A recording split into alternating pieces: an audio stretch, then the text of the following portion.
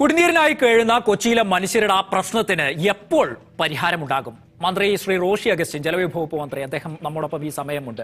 Shri Roshy Augustine പ്രശ്നത്തിന്റെ ഗൗരവം താങ്കൾക്ക് ബോധ്യപ്പെട്ടതാണ് താങ്കൾ ഇടപെട്ടതാണ് ഒക്കെ ചെയ്തതാണ്. പക്ഷെ ഇപ്പോഴും പ്രശ്നം അതിസങ്കീർണമാണ് പലയിടങ്ങളിലും എന്നുള്ളതാണ് ആളുകൾ സംസാരിക്കുമ്പോൾ മനസ്സിലാക്കാൻ കഴിയുന്നത്. അന്തിമ പരിഹാരത്തിന് സമയമെടുക്കുമായിരിക്കും പക്ഷെ അടിയന്തര ഇടപെടൽ എന്ന നിലയ്ക്ക് എന്തൊക്കെ ചെയ്തിട്ടുണ്ട്? ഞാൻ തന്നെ കൊച്ചി വന്ന് അടിയന്തരമായി യോഗം വിളിച്ച് ജില്ലയുടെ ചുമതലയുള്ള മന്ത്രി രാജീവും ബഹുമാനിരായ എം എൽ എമാർ ശ്രീ കെ ബാബുവും വിനോദ് എം എൽ എയും ഉഷ തോമസും എം പി പ്രിയപ്പെട്ട ശ്രീ ഹൈബി ഈഡനും മേയർ ഉൾപ്പെടെ എല്ലാവരും പങ്കെടുത്തൊരു മീറ്റിംഗ് നടത്തി. അതിൽ ഞങ്ങൾ കണ്ടെത്തിയത് ഈ വിഷയം പരിഹരിക്കാൻ വേണ്ടിയിട്ടുള്ള ഇമ്മീഡിയറ്റ് ആക്ഷൻ എന്ന നിലയിൽ ജലവിതരണം കഴിയുന്നത്ര സുഗമമാക്കുക. ഇപ്പോൾ നമുക്ക് പൈപ്പ് ലൈനിൽ വെള്ളം എത്തുന്നത് പോലെ ഏതായാലും ടാങ്കറിൽ എത്തിച്ചു കൊടുക്കുക അസാധ്യമാവും. എങ്കിലും ജനങ്ങൾക്ക് ബുദ്ധിമുട്ടുണ്ടാകാതിരിക്കാൻ ആ വിതരണം ചെയ്യുന്ന വെള്ളവും ടാങ്കർ ലോറിയുടെ എക്സ്പെൻസും വാട്ടർ അതോറിറ്റി തന്നെ നിർവഹിക്കാം. അതിനുവേണ്ടി ആവശ്യമായ നിർദ്ദേശം കൊടുത്തു. അപ്പം എട്ട് മൂന്ന് രണ്ടായിരത്തി ഇരുപത്തി മൂന്ന് എല്ലാ മോട്ടറുകളും പൂർണമായും പ്രവർത്തനക്ഷമമാകുന്നതുവരെ വാട്ടർ അതോറിറ്റിയുടെ എക്സ്പെൻസിൽ വെള്ളം കൊടുക്കാനായിട്ട് തീരുമാനിച്ചു.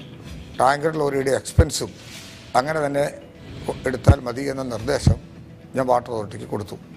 പക്ഷേ ഇപ്പം കാണുന്ന ഒരു പ്രശ്നം ജലവിതരണം നടത്തുന്നുണ്ടെങ്കിലും പഴയതുപോലെ സുഗമമായി വെള്ളം കൊടുക്കാൻ കഴിയുന്നില്ല. അതിന്റെ പ്രധാന വിഷയം എല്ലാ മേഖലയിലും ടാങ്കർ ലോറിയിൽ കയറി ചെല്ലൽ സാധിക്കുന്നില്ല. അതുകൊണ്ട് ചെറിയ വണ്ടികൾ കിട്ടുവാണെങ്കിൽ ചെറിയ വണ്ടികളിലും വെള്ളം കൊടുക്കാം. ഞാൻ വാട്ടർ അതോറിറ്റി ഉദ്യോഗസ്ഥരോട് സംസാരിച്ചിട്ടുണ്ട്. ജില്ലാ കളക്ടറോടും കൂടി ചെറു വാഹനങ്ങൾ എടുത്തു തരാൻ കഴിയുമോ എന്ന് ഞങ്ങളൊരു അഭിപ്രായം ആരായുന്നുണ്ട്? ശരി മിനിസ്റ്റർ. അങ്ങനെയെങ്കിൽ സാധ്യമായ വഴികൾ താങ്കൾ നോക്കും എന്ന് പറയുന്നു. അങ്ങനെയെങ്കിൽ ഇപ്പൊ എല്ലായിടത്തും വെള്ളം എത്തുന്നില്ല എന്ന് മിനിസ്റ്റർ പറഞ്ഞു. അത് തന്നെയാണ് ഏറ്റവും വലിയ പ്രശ്നം. അങ്ങനെയെങ്കിൽ വെള്ളം എത്താത്തിടത്തേക്ക് മറുപടി ആലോചിക്കേണ്ട? ഈ ചെറിയ വാഹനങ്ങളും എത്തുന്നില്ല പലയിടത്തേക്ക്. അങ്ങനെയുള്ളിടത്തേക്ക് എന്തെങ്കിലും മറുപടി ആലോചിച്ചിട്ടുണ്ടോ? ശാശ്വത പരിഹാരം എന്നത്തേക്ക് ഉണ്ടാകുമെന്നാണ് കണക്കാക്കുന്നത്. നമുക്കെല്ലാവർക്കും അറിയാം ടാങ്കർ ലോറികൾ കടന്നു പോകുന്ന വഴികളിൽ കൂടിയല്ല കൂടുതലും ആൾക്കാരുടെ താമസമുള്ളത്.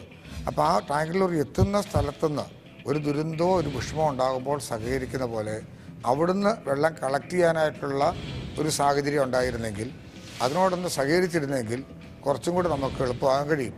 ഇനി പഞ്ചായ വ്യക്തിതര വാഹനങ്ങളിൽ എത്തിക്കാനുള്ള സാധ്യതകളുണ്ടോ? അത് പരിശോധിക്കാമെന്ന് ഞാൻ പറഞ്ഞത്.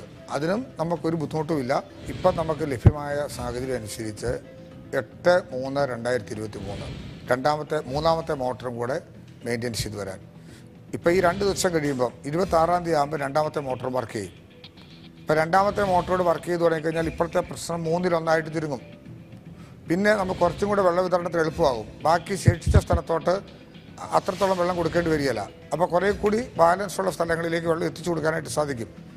അങ്ങനെയാണ് ഞാൻ പറഞ്ഞത്. സാധ്യമായ സാധ്യതകളാണല്ലോ നമ്മൾ പ്രയോജനപ്പെടുത്തേണ്ടത്. ഞങ്ങളുടെ ഭാഗത്തുനിന്ന് അത്തരം കാര്യങ്ങൾ ചെയ്യുന്നതിന് എന്തെങ്കിലും പുതിയ സജഷൻസ് ഉണ്ടെങ്കിൽ അതും ഞാൻ സ്വീകരിക്കാൻ തയ്യാറാണ്. അത്തരത്തിൽ എന്ത് വേണമെങ്കിലും നമുക്ക് ചെയ്യാം.